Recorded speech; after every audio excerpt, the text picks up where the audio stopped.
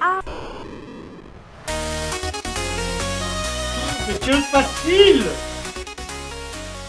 C'était assez marrant comme concept, mais en fait j'aimais vraiment que ça soit euh, très décomplexé, relax, euh, on jazz. euh. Découvre la Malaisie, en fait, tous les personnages, ils évoluent dans un décor qu'on connaît très peu. Pas très très subjectif sur cet avis-là, c'est mon pote euh, Florent Bernard qui l'a réalisé. Euh, Le cinéma lui-même il est, il est vraiment génial, je l'aime trop. Non, non, moi je voulais remettre en fait les, les deux films en fait de Villeneuve en perspective. C'est plaisant de voir la, la réaction des gens. Je pense qu'on n'a jamais fait encore euh, une interview en, en- en live avec les gens aussi euh, présents en train de nous écouter. Je trouve que les interventions étaient hyper pertinentes et euh, enfin, j'ai découvert plein de films que j'ai trop envie d'aller voir maintenant. C'est vrai que c'est ce qu'on ce avait trouvé dans le festival Utopial et qu'on peut retrouver là, euh, avec un côté, euh, bah, euh, on est là pour se marrer aussi.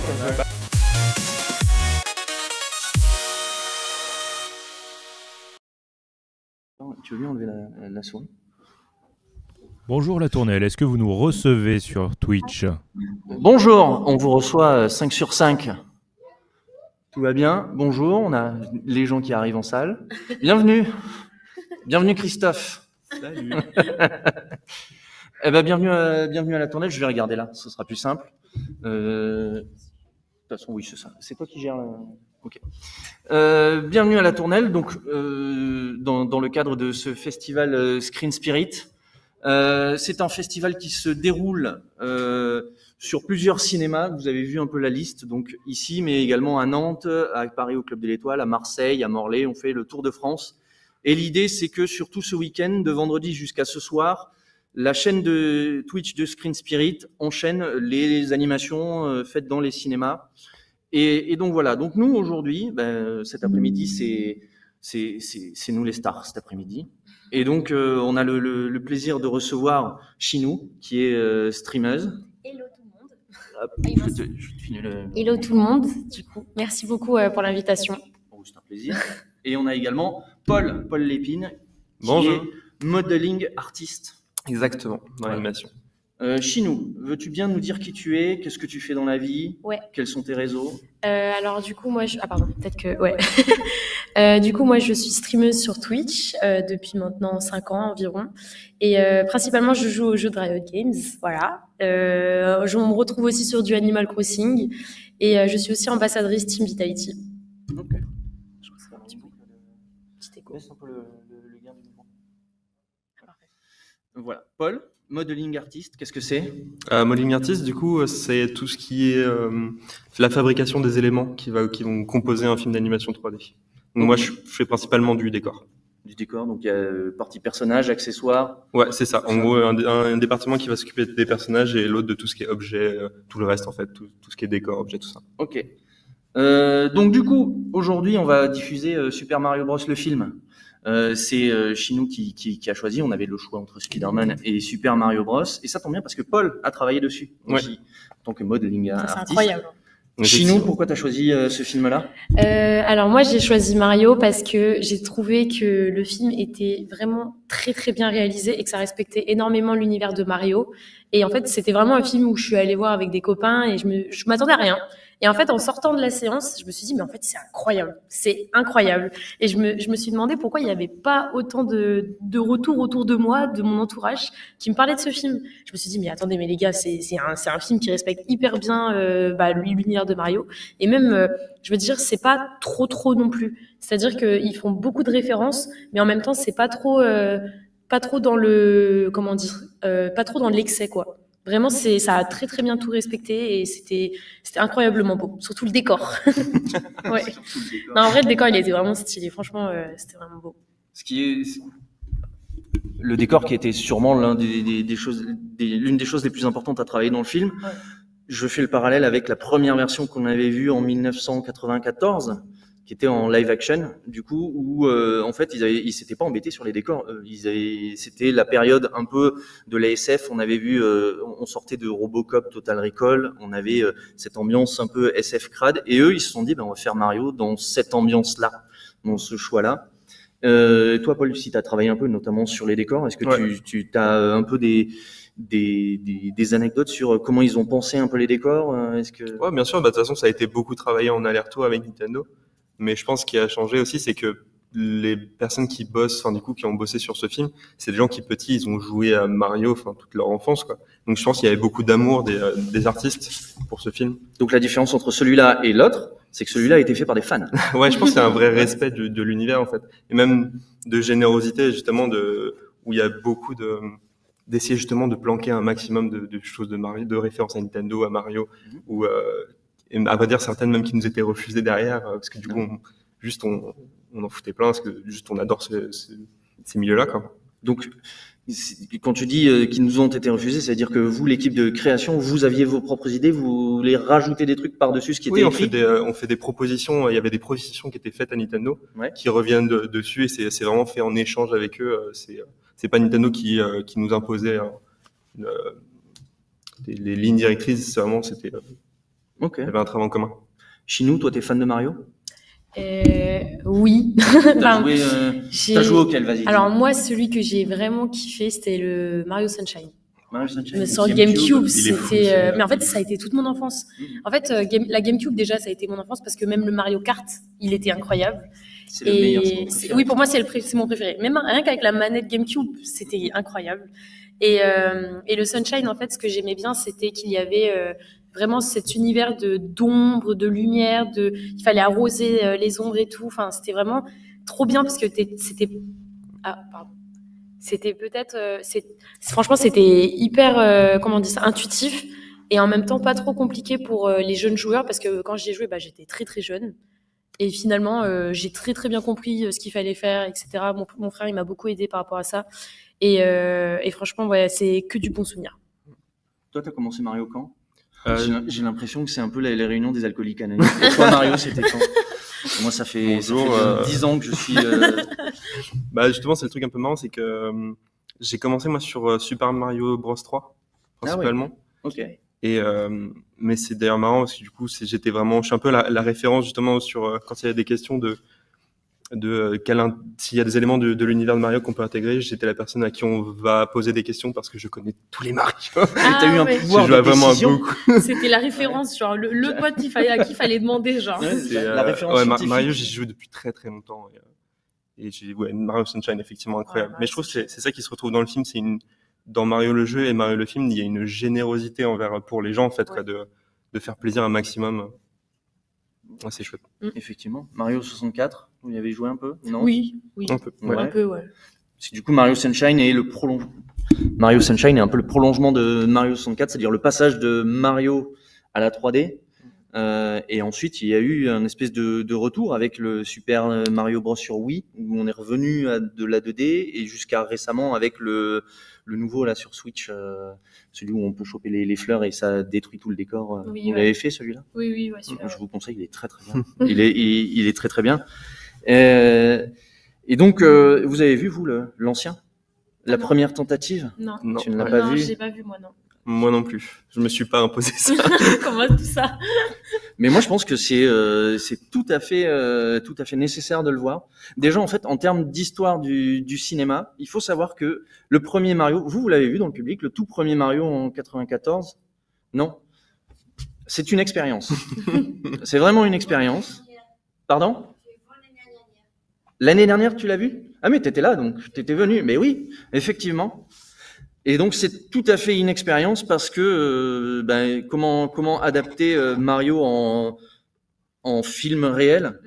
Donc j'en parlais tout à l'heure, ils ont décidé de faire l'impasse complètement sur euh, tout l'univers des décors. Ils ont fait un univers qui marchait à l'époque de SF un peu tout ça. Et en fait du coup ils ont fait un film de SF dans lequel ils ont mis des noms. Ils ont mis Mario, euh, Luigi, Daisy, euh, les Todd, mais je crois que si, il y a, il y a un guitariste, un, un personnage guitariste un peu insupportable. C'est lui qui s'appelle Todd. Il ressemble pas du tout à un champignon. Il ressemble à- tout, ok. Non, c'est juste un guitariste de rue, quoi. ah ok d'accord Et, euh, et, et Bowser, c'est euh, c'est un super acteur qui s'appelle Dennis Hopper, qui a une énorme carrière. Et là, ils lui ont fait des, une coiffure pique des, des années 90. C'est lui Bowser. Il ressemble pas du tout à Bowser. Il ressemble à rien, en fait. c'est juste qu'il a des pics sur la tête quoi Voilà. Mais même pas rouge, hein. Ah oui, il est blond, euh, blond décoloré. ok Et, euh, et par contre, ce qui est intéressant dans ce film-là, c'est qu'il a été précurseur des effets spéciaux numériques. Et en fait, sans lui, on aurait euh, eu pas mal de retard sur les effets spéciaux numériques parce qu'en fait, ils ont fait des expériences là-dessus. Ils se sont dit, ben Mario, ça va être un carton, euh, donc on va mettre le Mm. paquet, on va mettre Ouais. pas mal de, de thunes dedans. Criti- de, de- de manière critique, c'est raté, quoi. Mais, euh, mais de manière de l'histoire du cinéma, euh, c'est assez intéressant. C'est quelque chose qu'on avait eu dans Space Jam aussi. Je sais pas si vous avez vu Ah, Space si, Jam. ouais, bien Non, sûr. moi, je l'ai pas vu, non. Alors Space Jam, c'est euh, ça part d'une pub. C'est euh, Michael Jordan et Bugs Bunny euh, qui combattent des extraterrestres. Au début, c'était ça le pitch. Et ils ont décidé d'en faire un, un film de une heure et demie. Ça a été compliqué Ok.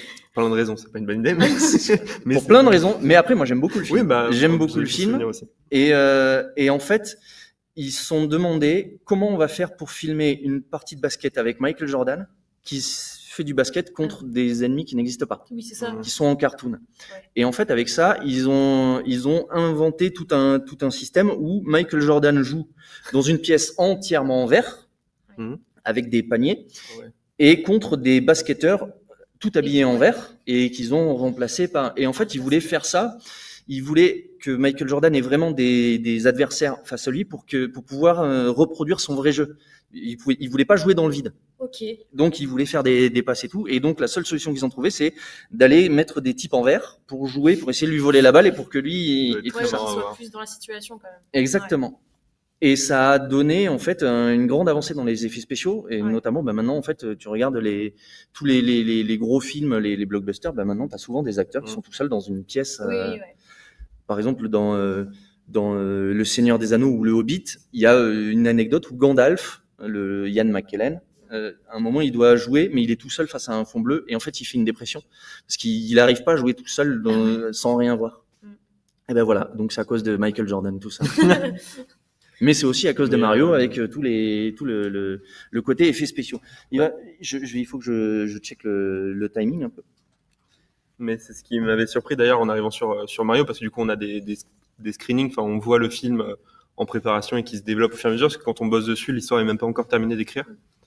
Et, euh, et c'était super surpris justement qu'ils reprennent des, des, euh, des éléments du premier film, du coup, euh, comme Mario qui vient de Brooklyn et, et ou des choses comme ça. Enfin, Mm, je le dis, mais vous, vous allez le voir au tout début du film de toute façon.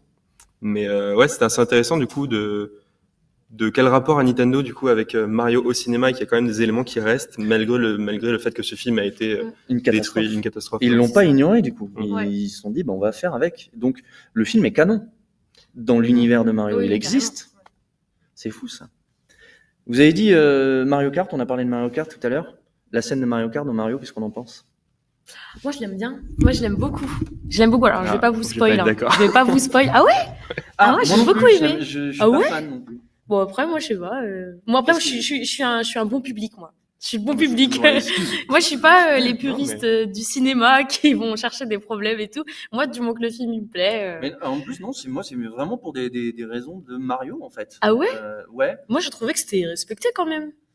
Ouais, je trouvais ça cool, mais je trouve que ça, dans la diégèse du film, ça sort un peu de nulle part, quoi. Oui, alors oui, oui, je suis C'est d'accord. un peu forcing. C'est oui, mais je pense que c'était vraiment histoire de mettre quand même une référence aux cartes, Ouais. je pense. Non, mais après, la scène ouais. reste très très cool. Puis moi, Oui, on ouais. a ce, ça vient après euh, Mad Max Fury Road et on sent que- on sent qu'il est inspiré de plein d'autres films et entre autres ces scènes de, de Ouais. course poursuite, Et c'est ça Mad Max. C'est ça qui était intéressant, c'est que du coup, c'est un- c'est une adaptation de jeux vidéo, mais dans lequel ils ont insufflé du cinéma. Mm. Ouais. Parce que voilà, il y a. Mad Max avant et clairement la- la- le début de, de, de cette partie de Mario Kart, c'est Mario Kart euh, Mad Max, quoi. Mad Max Kart. Et c'est ça que j'aime bien, c'est que Mario en, en soi, c'est vraiment un objet purement euh, vidéoludique. C'est, euh, Mm. ça te raconte, ça essaie pas de te raconter quelque chose, c'est vraiment juste l'expérience fun de jeu. Et je trouve qu'on retrouve vachement ça dans le film où euh, t'as des, des éléments, on peut lui reprocher euh, des, des problèmes de scénario ou des problèmes de plein de choses, mais c'est Bah, juste. c'est parce qu'il n'y a pas de scénario, il faut suivre. Bah, il, y a un- c'est il est extrêmement ligne, fun. mais en même temps, c'est parce que c'est un pur, euh, un pur exercice de cinéma, en fait, justement, de juste, c'est du cinéma fun, et on essaie de faire ça, mais le pousser les potards au max. Ouais, c'est ça. Mm, mm.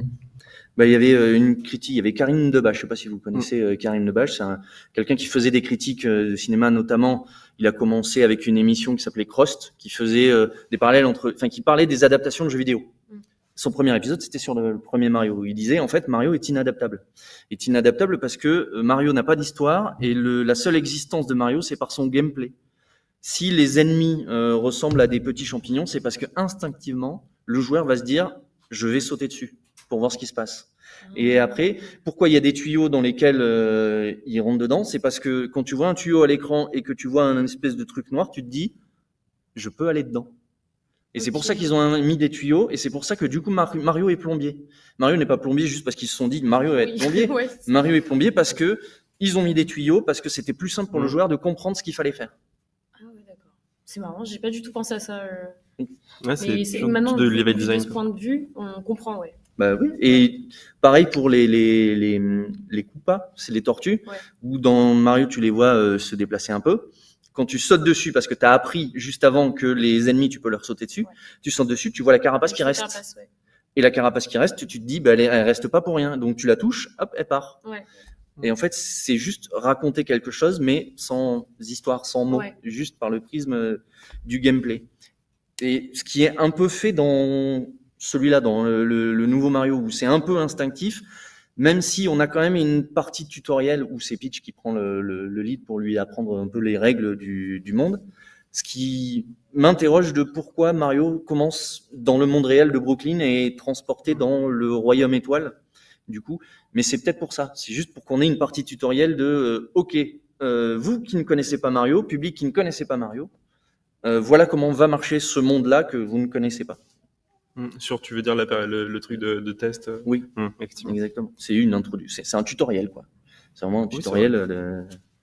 Mais d'ailleurs, euh, en parlant de Karim Debache, parce que du coup, il avait parlé aussi de, de ce film-là, et je trouvais qu'il avait un, un avis assez intéressant justement sur ce truc-là, de, euh, où ce film-là, où les gens qui lui ont reproché de ne pas avoir assez de scénario, Karim Debache lui disait, enfin dit, que euh, qu'il a même presque trop de scénarios, qu'ils auraient pu encore plus y aller juste. euh, parce que du coup, le problème dans Mario, c'est pas de façon, la question de Mario, c'est pas de lui donner un scénario justement, c'est juste, euh, De juste s'amuser avec. plaisir, quoi. quoi. Ouais. C'est ouais, c'est ça, ouais. c'est de prendre des jouets et d'en faire Mm. bah, un peu comme ce qu'ils avaient fait sur euh, Lego finalement. Vous Oui, l'avez ouais. vu le Oui, Lego, Movie oui. On va en reparler après. cool. On va en reparler. J'ai un petit extrait de, de Lego. Vous avez vu le film de Lego Movie? Sorti en 2015, un truc comme ça? moment, quand même, ouais. Et, euh, et ben en fait c'est à peu près le même principe. C'est comment adapter un film sur les Lego, Ouais. euh, sur des, des petites briques. Et euh, donc en général sur ce genre de truc, tu as deux choix. Soit tu fais l'origin story, c'est-à-dire comment on va inventer les Lego, Ouais, soit tu vas à fond dans euh, le monde des Lego. Ouais, et c'est ce qui donc du coup ils ont joué avec des jouets. C'est le même principe. C'est je- ça me rappelle ce que tu me dis. Ils ont pris des Lego, ils les ont mis ensemble et ils se sont fait une histoire. Et bon après je trouve qu'il va vachement plus loin le, le Mm. film. T'as Oui, tout ouais. un un, sous-texte. euh. En termes d'adaptation euh, jeux vidéo, toi tu joues à League of Legends? Oui. On parle d'Arkane ou? Ah, on peut parler d'Arcane, hein, avec grand plaisir. est-ce que vous avez vu la série Arcane vous? Non. Oh là là, faut regarder. Ah, il faut regarder la Faut série regarder Arcane. Ouais. Non, c'est c'est euh, c'est une série qui repre- qui reprend le, le monde de League of Legends, qui est un jeu très connu maintenant aujourd'hui. Et, euh, et franchement, ça a été euh, un gros coup de cœur pour moi parce qu'en fait, euh, comme ça fait depuis la saison 2 que je joue maintenant à LoL, euh, donc ça fait depuis que je suis au collège quand même, maintenant j'ai 25 ans, et euh, de voir qu'ils ont repris euh, vraiment l'univers de League of Legends, qu'ils ont même inventé de nouveaux personnages et même, comment dire, mais l'ambiance d'Arkane qui est un peu sombre et un peu, en même temps un peu sobre et triste, mais en même temps il y a tellement une histoire forte entre les personnages et de revoir nos personnages préférés du jeu retranscrits dans, dans, le, dans la série, bah, c'est incroyable aussi. Puis des fois, tu as aussi des, des bandes son qui, qui, qui te fait rappeler un peu la faille de l'invocateur finalement. Et, euh, et franchement, pour moi, ça a été euh, top série euh, de l'année quand c'est sorti. Quoi. Ouais. Parce que c'est, ouais, pour moi, c'était dans mon top 3 de, de, de cette année-là. C'est bien, hein c'est ouais. français. C'est- En plus, Ah oui, ouais, c'est d'un studio français en plus, ouais. C'est ça, ouais. Et du coup, en termes de, en termes de, de, de production, donc on a Arkane qui est français, Mario qui est fait par Illumination, Qui est français. qui est français, puisqu'a priori tu es français. Je suis Tu sur- français. bah, à vrai tu dire, même. Illumination n'a pas de studio autre part qu'en France. C'est que Ah ouais. fabriqué en France. Donc moi, moi, je suis méchant tout ça, les C'est mignons, uniquement français. D'accord. Enfin, c'est- il y a du coup un, un rapport avec euh, Universal qui, Mhm. parce que du coup, Illumination appartient à Universal, donc il y a ce rapport-là avec euh, avec les Américains, mais sinon la fabrication elle est purement française. Ok. Et du coup, Spider-Man aussi, t'as été plus ou moins lié à Spider-Man? Euh, pas du tout. Non, pas du tout. Parce que c'est Spider-Man, c'est Sony Animation. C'est Sony, il n'y a pas de, de, de branche. euh, Non. Non? Ok. Parce que, en fait, euh, la, la, la France là commence à rayonner un peu en termes d'animation 3D. c'est quelque chose en fait euh, le- les, sur l'animation, c'est une volonté un peu politique d'ailleurs qui a été euh, depuis assez longtemps, qui date de des Astérix. Il y avait euh, Goscinny et Uderzo qui avaient monté un studio qu'ils avaient appelé le Studio Idéfix. Et leur, leur but, c'était c'était dans les années euh, 60, 70, 60, je dirais. Euh, c'était pour Astérix le Gaulois, donc euh, ça remonte. Et en fait, leur but, c'était de former plein de gens à l'animation pour concurrencer Disney. Ah oui, quand même. quand même. Et, euh, et donc, euh, c'est comme ça que la France a commencé à euh, former des, des artistes, développer un peu une industrie et ben, bosser sur Astérix le Gaulois, Astérix Cléopâtre, et après Le Roi et l'Oiseau. Je sais pas si vous l'avez Ouais. vu, Le Roi et l'Oiseau, où clairement Le Roi et l'Oiseau, la volonté euh, de, de- de- du créateur de- du Roi et l'Oiseau, c'était de concurrencer Disney. Parce que lui, il avait vu Blanche-Neige, et il s'est dit, ouais, il faut qu'on fasse pareil, mais en France, quoi. Et- Ouais, à la France. Ouais. Et ce qui est intéressant, c'est qu'après, ça a inspiré un japonais qui s'appelle Miyazaki. Je sais pas si vous Mm. connaissez euh, Miyazaki. Un, Petit, un- euh, un petit auteur euh, Pas indépendant. très connu, finalement. il a de l'avenir. Voilà, il a un peu, de- ouais, il a un peu d'avenir là, euh, moins que de passé quand même là. Mais euh, et, et si Miyazaki a commencé euh, le studio Ghibli à travailler dedans, bah, c'est grâce à la France. C'est grâce au Roi et l'Oiseau. Je déteste le Roi et l'Oiseau, moi, mais euh, pas Ah, il a- beaucoup. ah ouais? Ouais. Graphiquement, il est, il est fou. Ah ouais, ah mais oui, moi il me fait peur. Il me- Ah, peux mais comprendre, c'est- ouais. Moi je l'ai vu enfant, c'est un, c'est un design très très particulier, mais qui fait très français des années 60. Et c'est très caricatural, et il y a beaucoup de passages où tu fais pas- ah, ça fait trop peur. Quoi. Juste le design des personnages fait trop peur. Et, euh, et on, le, on le présente à des enfants dans le cinéma, dans les... On a des dispositifs scolaires, on fait venir des enfants et on leur montre le roi et l'oiseau et ça m'énerve à chaque fois. J'ai pas envie de les... Je me dis, je vais les traumatiser, je vais les horrible. traumatiser. Je préférerais leur montrer Mario, moi. Ah bah oui, c'est clair, oui, c'est clair. Mais euh, ouais, non, en France, on est clairement une, une référence en termes d'animation, euh, mais même, euh, si du coup, là, c'est des films qui sont faits en France, mais même dans les équipes à l'international, il y a toujours des Français. Enfin, même, on est, euh, on est vraiment réputé pour nos, euh, pour notre 3D, mais même pour la 2D, du coup, avec l'école des Gobelins ou des choses comme ça. Oui. Et maintenant, même, euh, même les Japonais, du coup, euh, ils viennent chercher des Français pour leur animation 2D. euh, On est vraiment dans toutes les, dans tous les studios du monde, tu vas retrouver au moins une équipe de Français. C'est D'accord. cool, ça. Ça, c'est vraiment cool. Ouais, c'est cool Qu'on ait. puisse avoir un peu notre patte euh, un peu partout. Mm. Mm. C'est bien. Et du coup, c'est euh, un peu les Français qui ont inventé ce style à la Arcane, justement, qu'on voit après dans euh, Spider-Man, qu'on voit dans Le Chapeau T2, qu'on voit dans Les Tortues Ninja. Il est génial. C'est fou. Et donc, toi, tu as bossé sur Les Tortues Ninja J'ai bossé sur les Tortues Ninja également, les ouais. Tortues Ninja. Non mais moi, non, mais moi je, je suis une fan de l'animation, mais genre euh, les Tortues Ninja, pareil, je m'attendais à rien. Et quand je suis allée le voir, quand, je m'attendais à rien, et quand je suis allée le voir, vraiment, j'étais, j'étais choquée. Je me suis dit, mais ça a beaucoup de ressemblances avec Spider-Man, euh, Mm, avec ouais. le Spider-Verse, par rapport à l'animation. Mais, euh, mais franchement, j'étais dégoûtée que pareil, on n'en entende pas tant parler que ça de ce film. Parce qu'il y a eu un petit peu de com sur les réseaux, mais ça méritait tellement plus. Parce que vraiment, franchement, euh, je suis allée le voir je me suis- je- juste avec des copains parce que moi, j'avais, j'ai le pass euh, du cinéma. Et, euh, et franchement, euh, j'ai eu que des bons retours et je me suis dit, vas-y, je vais aller le voir et tout. Et, et là, vraiment, choquée, euh, vraiment très surprise et agréablement surprise par l'animation qui ressemble vachement à celle de Spider-Man et qui est tellement travaillée, même dans l'histoire. Je trouve que moi, qui, qui n'ai pas, qui, enfin, qui n'ai pas grandi dans le monde de Tortue Ninja, Mm. je ne connaissais rien, mais rien du tout. Et euh, je savais juste que c'était des tortues d'égout et que c'est tout, quoi, à la base. Et en fait, euh, quand tu viens voir le film, t'as même pas besoin de savoir qui est qui, en fait, parce qu'il t'explique tout. Et c'est très, très, euh, très, très intuitif. Tu, co- tu comprends très vite ce qui se passe, en fait.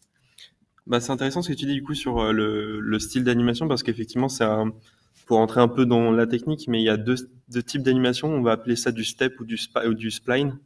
Et en gros, c'est juste euh, le nombre. Quand on fait de l'animation, du coup, on bouge comme des marionnettes. Ouais. On les met en place et on sauvegarde des poses. Ouais. Et euh, en spline, on va mettre des poses clés du mouvement. Et après, c'est l'ordinateur qui va calculer les, euh, les mouvements pour passer d'une pose à l'autre. Donc, on fait ça, on en fait une comme ça, et l'ordinateur calcule Quel- le, le mouvement. Exactement. pour- Généralement, tu lui dis, tu peux lui donner quelques indications, mais globalement, il va aller, euh, il va trouver le chemin le plus court pour passer de ça à ça. Ok. Alors que du step, justement, il y a, euh, il y a aucune, euh, il y a, il y a pas de calcul d'ordinateur. Ok. Ça coûte beaucoup plus cher du coup parce que ça demande beaucoup plus de travail, mais chaque pose va être fait à la main par un artiste. Ça veut Et dire ce que qui donne un peu ce, côté euh, très fluide, mais enfin ce- cette espèce de côté euh, saccadé, Ouais. mais vachement plus travaillé du coup du mouvement. C'est Oh, le le, travail. c'est le principe du stop motion en fait. Mhm. C'est voilà, euh, si vous voyez un peu les, les, les films avant les années 80. On va voir du stop motion après dans les, dans les petits jeux d'ailleurs.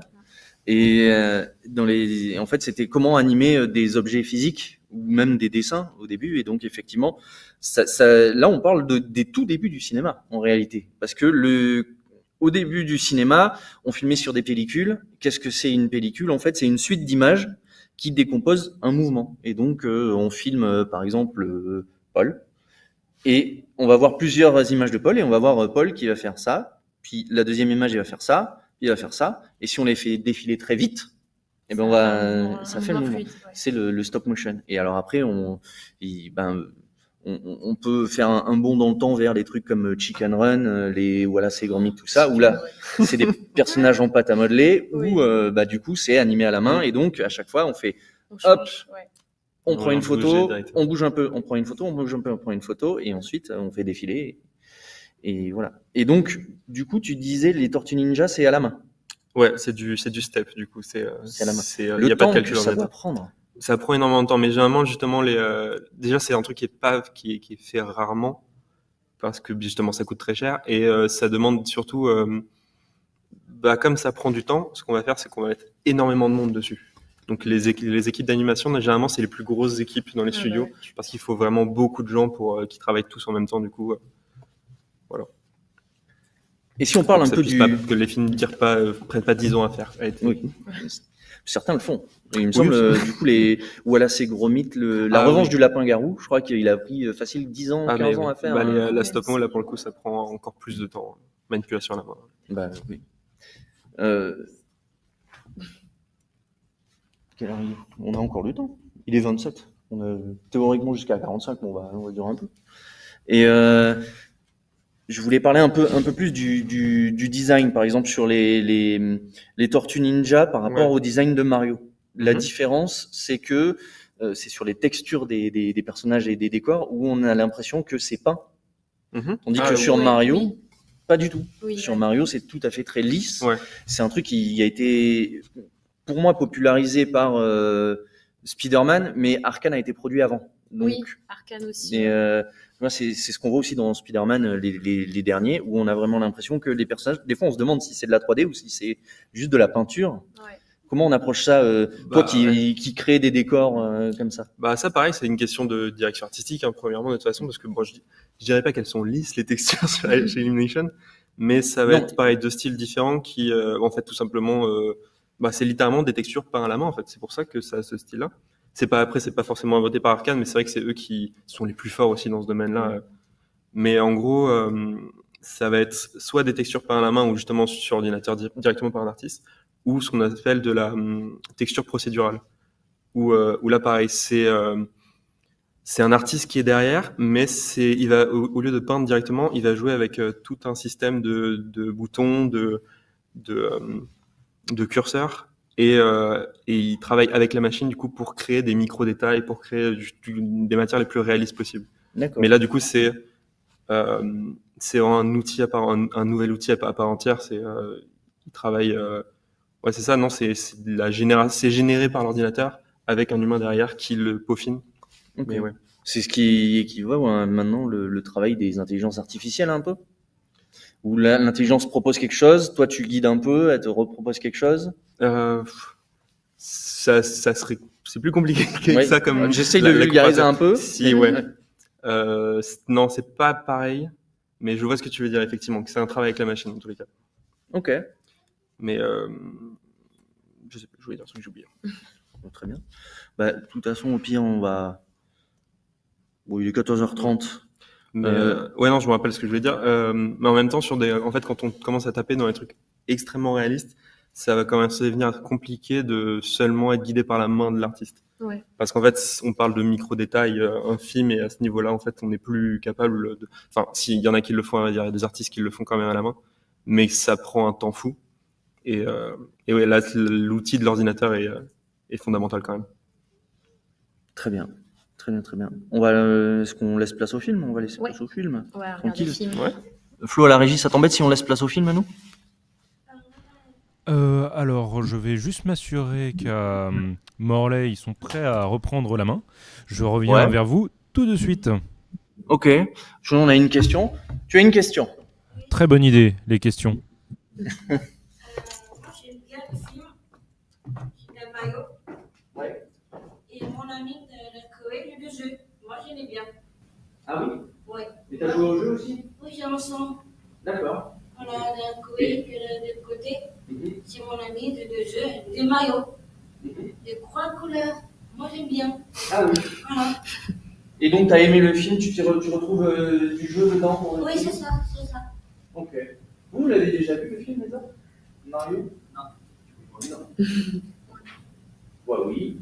Ça va être la, la, la première fois. Je sais pas si on vous l'a dit, mais c'est en version originale le, le film. C'est pour ça qu'on est là. Ah Mm. Oui, je les ai entendus parler un peu anglophone. euh, Ah bah le, travail de Jack Black et des différents acteurs de Chris Pratt, tout ça sur ce film ouais, a été assez fou. Des Anya Taylor-Joy, euh, des, art- des, des acteurs incroyables. Chris Pratt, euh, il s'est fait un peu insulter hein, sur, Oui. euh, sur les réseaux pour son Ouais, doublage ouais. parce qu'il, en fait, quand il, déjà quand il a été annoncé en tant que Mario, tout le monde a fait eh, mais c'est toujours le cas. hein. Oui, en bah, réalité, t'as toujours des gens qui râlent. C'est dur, ouais. Et c'est quand ils ont sorti la première bande-annonce où Ah, euh, on a entendu la voix de doublage où en fait personne, enfin les gens se sont dit mais c'est pas Mario. Déjà, il parle pas en aigu. Il parle pas Mario. Bah, je, je sais pas si c'est.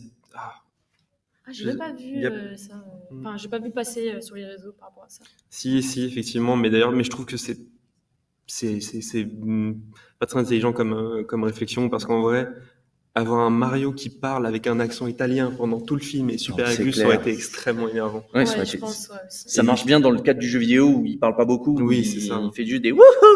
Ouais. Mais- Très belle imitation. ouais. Merci. Je, je m'entraîne euh, depuis 10 ans, depuis que j'y joue. Mais oui, effectivement. Et donc, dans les réseaux, en fait, il y avait eu pas mal de comparatifs sur les différentes versions. Donc, il y avait la version Chris Pratt, la version française, la version espagnole, tout ça. Et tout le monde était unanime sur le fait que la version française, c'était la meilleure. Mais en fait, il se basait juste sur un petit extrait du tout début où il arrive dans le monde Ah, oui. et c'est le cri qu'il fait. Ah, juste sur ça Sur le cri. Et donc, effectivement, le, le doubleur français, je sais pas qui c'est, mais il le fait hyper bien, le cri de Mario. Ouais. Et tout le monde s'est dit, ah, mais les, les Français, ils vont avoir le, le meilleur Mario du monde. Mais d'ailleurs, ils font euh, référence à, à la vraie voix de Mario, vu que dans la, vous allez voir dans, dans, le- dans le- au début du film, il y a une scène dans une pizzeria. Il y a un, un personnage qui joue à une borne d'arcade et c'est euh, la personne qui fait la voix de ce personnage, c'est la vraie voix officielle de Mario, euh, qui est un Français. Donc il y a une... alors c'est un Français. Ouais. Et il y a une vraie voix officielle. Je il y a une pensais vraie que voix c'était officielle. un- Non, il à est- chaque fois ça changeait. Non, il est, il- il- Nintendo a dit c'est vraiment la, la voix officielle de Mario. ouais. Ah, c'est fou ça. Mais comment il a été choisi ce type-là? Alors ça, j'aurais pas le détail. Ouais. mais il est, dans, il est le film en tout cas. Ah, c'est top. Patrice Dupont, euh, c'est toi Mario en fait. Quel honneur de dommage, son nom me revient pas, Martine euh, quelque chose, Martine et quelque chose, je sais plus exactement. Ok, d'accord, intéressant. Mais en VO, par contre, ils ont le meilleur Bowser du monde parce qu'ils ont Jack Black. Oui.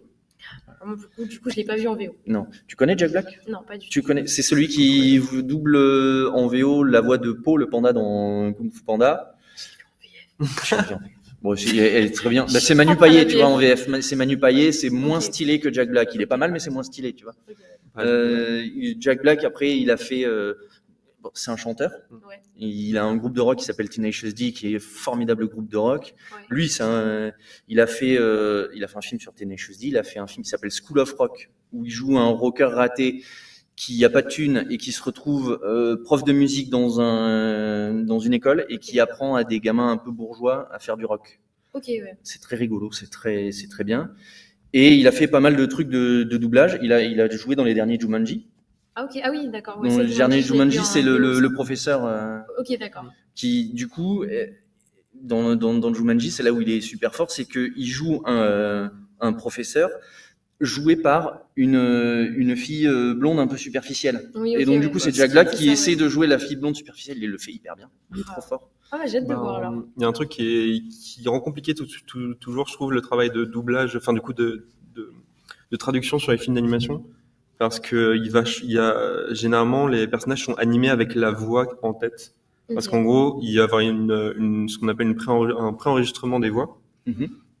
Euh, et euh, pour, pour me permettre de commencer à travailler.